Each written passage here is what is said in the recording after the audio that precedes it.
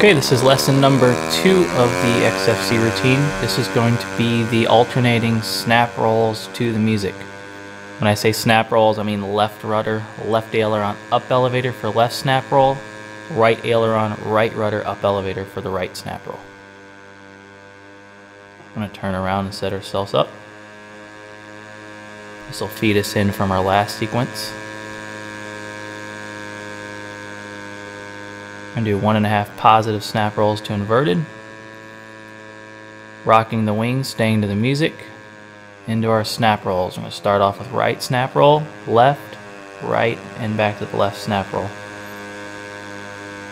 And that'll set us up for our third lesson of the XFC routine.